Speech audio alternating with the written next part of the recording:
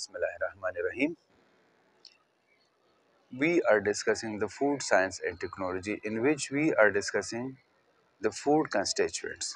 And in food constituents, we are discussing the carbohydrates and its important carbohydrates. The in important carbohydrates, we have mentioned the sugars, the dextrin, starch, hemicellulose, cellulose, pectin and gums.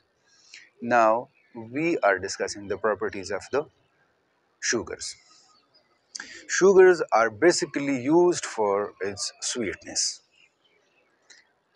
Sugars are providing energy if consumed.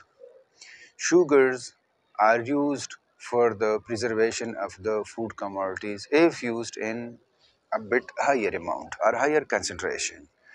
Sugars can be separated from the solutions in the crystal form if the solution is heated and the water content of the solution is evaporated as is in the case of the sugar cane.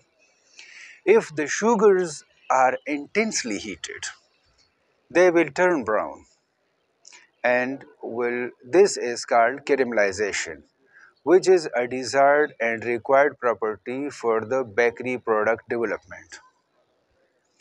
The microorganisms under anaerobic conditions can be grown on it for the purpose of fermentation. Fermentation is done for different and various purposes.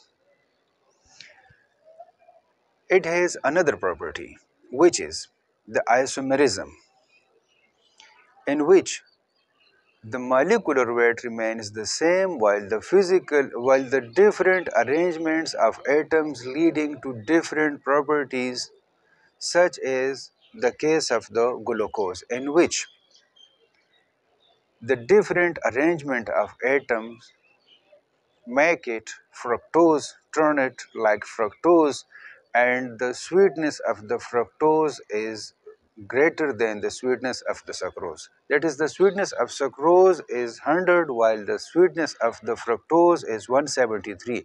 So for more sweetness,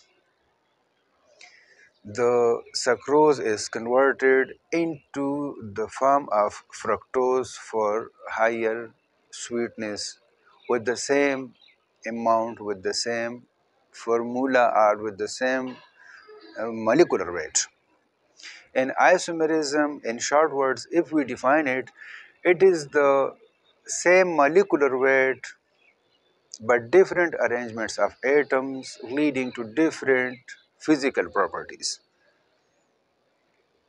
Remember that the sugars are used for sweetness, for energy, for crystal formation, for food preservation, for caramelization in which the color turns brown, for fermentation and even for isomerism in which it behaves sweeter than they are.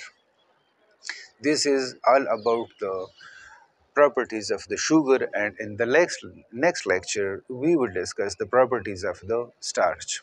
If you have any question or any suggestion you may add it into the comment section. I will appreciate your suggestions. Thank you.